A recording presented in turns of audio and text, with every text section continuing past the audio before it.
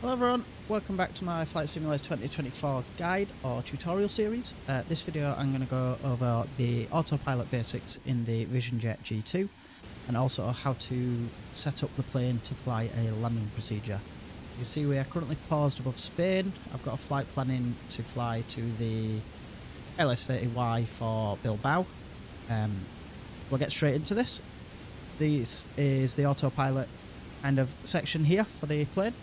I'll go along from left to right. So your heading button here puts the plane in heading mode, so you can see it's selected here. In heading mode, I can rotate this bug here, and it's rotating this blue marker, and the plane will follow whatever wherever that is set. Uh, next to that is the nav button, so that is the follows a flight plan. You can see I'm just going to select this and hit direct to and activate. And it is now in FMS mode, so the plane will follow this pink flight plan line to the next waypoint. Above that is the approach button, so when we're ready to arm the approach, when we've been given permission to land from the ATC, we would hit this button, we would arm the approach. Next section, this is your autopilot master button, so that turns the autopilot on and off, so I'll turn that back on. Uh, FD is the flight director, so when the autopilot is off, that takes off these magenta lines that the autopilot is following. LVL is your level button, so you click that and it will level the plane out and fly level. I'm just going to make sure that it's following FMS. Next is the altitude kind of section. So ALT basically holds the plane at whatever altitude you are currently at. This knob will scroll up and down the current manual selected altitude. And then this button here would put it into flight level change. So then it would try and fly to this altitude at a defined speed. Or VS. And then using this, we could ask it to fly to a defined altitude at a certain feet per minute. Middle button is VNAV, so I would select that and it would arm VNAV and now the plane would automatically fly to altitudes in your flight plan which I will show you a little bit further on in the video. The next section for the autopilot is the auto throttle, so this is this section down here. So I can hit AT and it arms the auto throttle. The FMS button basically lets the flight computer set what flight speed you need to fly at. You can change that at certain waypoints by clicking this box here and putting in a speed constraint or you can select manual and use this knob here to change the speed you would like it to fly at. So if ATC tells you not to fly above 200 knots, you set it to manual and put 200, and the throttle would automatically throttle up and down to fly us at 200 knots. So just for this, I am going to go to our runway, last heading before the runway, and put a speed constraint 91 knots in because I know that is roughly our landing speed, so the throttle will automatically throttle us down to 91 knots to set us up for landing. Next, I'm going to put in the minimums for the procedure, so I'll hit this here, go to our procedure chart, and our minimums are down here at 420. I'd hit minimums, type 420, and hit enter. There you go, it's displaying the minimums now. I'll hit B to make sure we've got the right altimeter setting, and I'll unpause the simulation. We are now following a flight plan, descending to 9,000 feet at 500 feet per minute, and the V speed and the vertical navigation is kind of armed there. So if I wanted to hold this altitude, I'll just hit ALT. I'm just going to hold our current altitude. Or if I wanted to go down to 9,000 feet, I could hit V speed and descend at a feet per minute, or ascend if you went up, or hit flight level change, and it will automatically go down at 196 knots. I'm going to put the auto throttle into flight management. So now can see descending, so it's going to allow us to descend to our given altitude. I'll just let the plane get to 9,000 feet, and then I'll show you how to set up for a landing.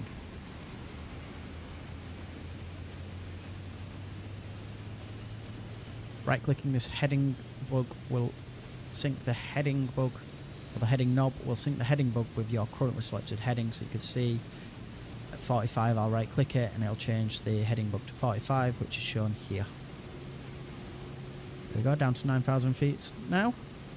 But set out for a landing, I would find out what our next altitude is, which is 6,000 feet. Now that altitude hold is selected for 9,000, I'm going to scroll this down to 6,000. That's just as a reminder for myself. And ensure that VNAV is armed, which it is. And on this screen here, if you've kind of got a half screen on this bit, just hit full or half. Do you want it to say full? Uh, to say half. And I'll show you when our top of descent is, which is in 6 minutes and 44 seconds, I think that says. and it will show on your flight plan as well your top of descent. So if I scroll out here, see TOD here on the flight plan tells us when it's going to descend down to that. I reset the view. Basically, confirm everything ready for landing. So speed is being managed by the computer at 250 knots. AP is armed, auto throttle is armed. It's holding altitude of 9,000 feet, but the vertical path is armed, ready to descend us when it needs to descend us. I'll just fast forward the video now until something else happens. So if ATC gave you a different procedure, you would go onto procedure here, like this, and select the procedure that they've assigned for you. So if they assigned the ILS Z for 30, you'd click this. And if it was vectors or they'd given you permission to go to the CAMA initial approach fix, you would select which one you needed. And then hit load or load and activate if they've cleared you to that first waypoint. I'm not going to do that because I've already got one set in. We'll go back to here, back onto this. So at the top here it's showing us our speed and our direction to the next waypoint and at the track and our estimated time en route to the next waypoint. So it'd be 3 minutes 44 seconds until we get to the next waypoint which is a Segma waypoint.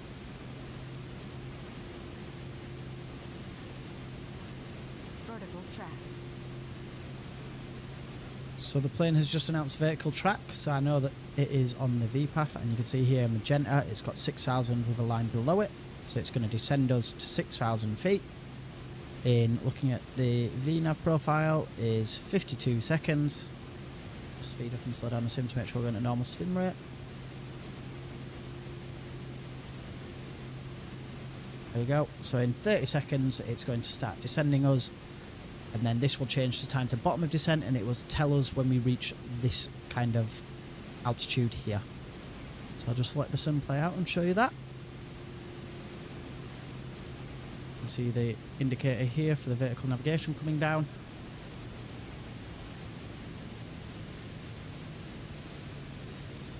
So you can see the FMS is already slowing us down to 91 so at this point I'm just going to hit manual and I'm just going to speed that speed up to 190 knots, which I know is the knots for flaps in this plane. I know that now when I set that back to the FMS for the auto throttle, it will take us down to our landing speed. Here we go, it's got a time for bottom of descent, so in 2 minutes 12 seconds we'll reach 6,000 feet. And using this I know that once we get to CAMA, it's only going to be a minute and 30 seconds till we hit SARA. So this is where I'll be waiting for ATC to give me our approach clearance. And as soon as they give us our approach clearance, I would arm, or our landing clearance, I would arm the approach mode. For the sake of this video, I don't actually have the ATC tuned in at the moment because it's still very buggy for Flight Simulator. I'm going to imagine that they have given us our landing clearance when we kind of get about 30 seconds away from the SARRA waypoint. So again, I will just let the let the simulator play out so you can see all this happening. We're just going to confirm everything for landing. So we are in FMS mode on the autopilot. VPATH is activated and it's descending us to our altitude that we need for this.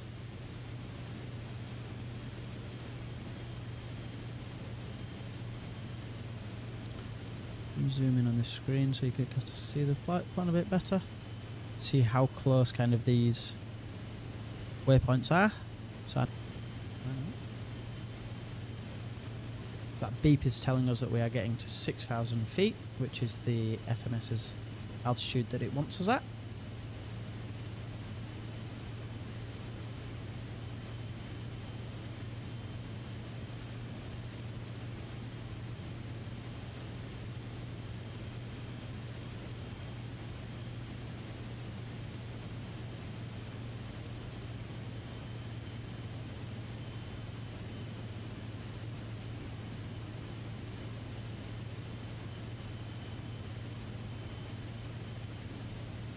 We go, so it's arriving at the waypoint in five seconds.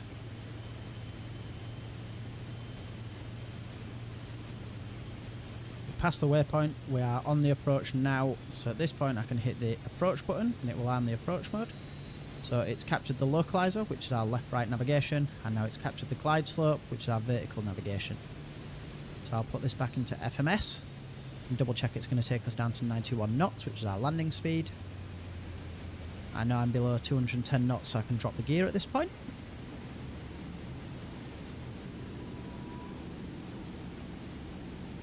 As soon as I'm confirmed gear is down, I will drop one notch of flaps. I know is 190, so if I go down to where the flaps button is, 190 knots for one notch of flaps, below 150 knots for two notches of flaps. I'll reset this here. Go, I'll just turn the nav aids off. So 420 is our minimums, so that is our minimum kind of decision altitude. If we get to that point and we have no indications of the runway, I would then perform a go around. So my next video is going to be on how to perform go arounds, and I'm going to do it in the with a completely manual with a G1000 and with the G3000. Um, they're all very similar procedures, but there's just slight differences. But that will be the next video.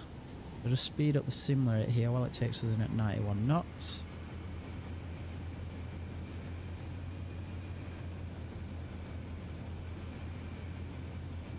a little bit closer to the runway.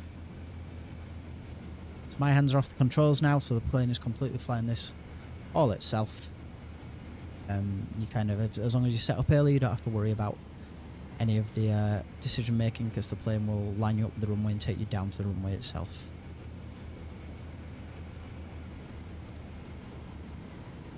See a bit of a crosswind and in the back. I don't know why it's giving us this runway for landing, but you know.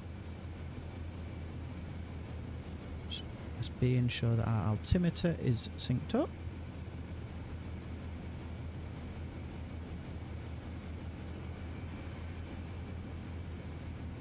I'll just keep the simulator sped up until we get to about 2,000 feet.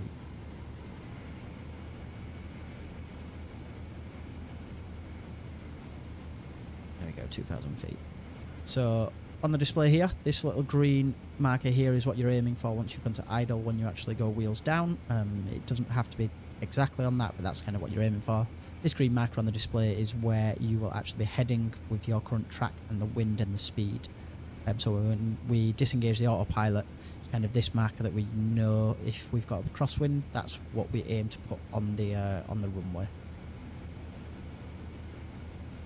Right, descending us down, this is our runway here, so if I zoom in you can see with the glide slope and the ILS procedure, two white, two red means we are perfectly on the glide slope. If it was white over red we would be too high so we'd have to descend. If it was red over white, so three reds, one white, we're too low so we'd have to ascend At the moment because we are using a ILS procedure to fly us in we know we are all lined up with that there we go 1500 feet so we've got about 1080 feet until we are at minimums. I can see the indication so at this point I could turn off the autopilot and hand fly it in but as I always say if the autopilot in the plane is going to fly you into the runway why do it yourself? Let it do as much as the work for you as you can do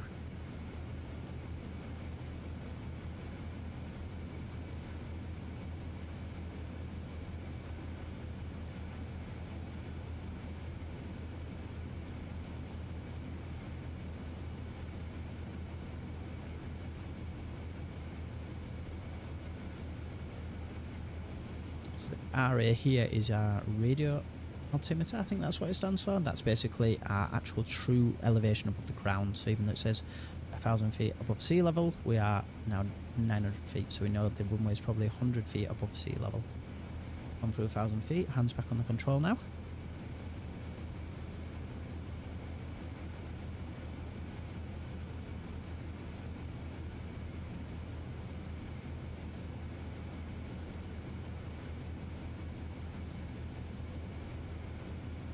See here it's probably aiming us a little bit to the right and that just depends where the ILS beacon is for this runway.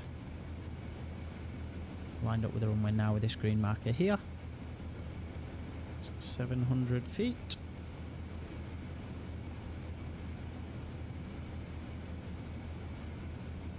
Plane will call out minimums when we reach minimums. And then it possibly automatically disconnect the autopilot. If it doesn't, that's when we disconnect the autopilot. We go, automatically disconnects the autopilot at minimums. So I'm just going to keep the plane on that kind of glide slope. again watching that green marker on my main display, making sure I'm lined up with the runway with it. And it's just a normal landing procedure. So there we go. Throttle is to idle now, and I will just let the plane glide down. And the radio altimeter reads about 20. I will just pitch back a little bit. There we go. And then just let the plane glide down onto the runway. There we go. Wheels down. Push a little bit forward and apply the brakes. The brakes are amazing on the Vision Jet, so it should slow us down very, very fast. And then we would just do the normal procedure for getting off the runway and uh, taxi into the parking. Just stop that there by the parking brakes. So there you go. That's the basics of the autopilot and how to fly a landing procedure in the Vision Jet. I hope that's helped a few of you out. Uh, any problems or questions, drop them in the comment section, and I will see you in the next video, which will be covering go around procedures.